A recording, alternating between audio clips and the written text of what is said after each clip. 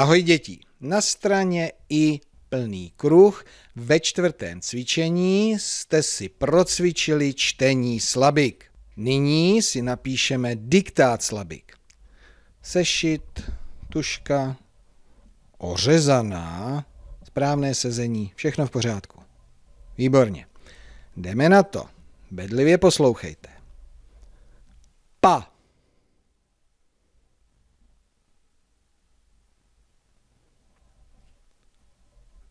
Pa. Nyní napíši pro vaši kontrolu, takže pa, motýl, p, letí na kytičku a. Napsal jsem slabiku pa. Vynechávám mezeru. Další slabika. Lo.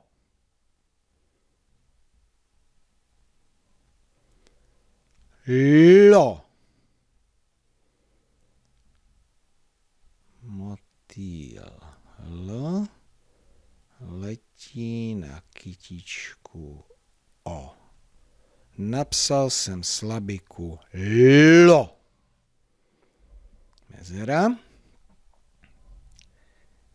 Si.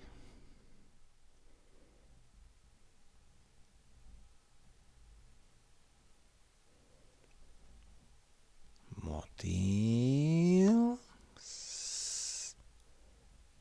Kytička. Napsal jsem slabiku si. Zase mezera.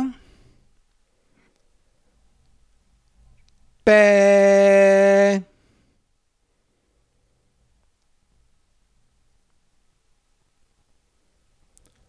P. Takže P a bylo tam jako kytička dlouhé E. Napsal jsem slabiku P. A jsme u konce. Poslední mezeru. Jasný, nechat. Dobře. My.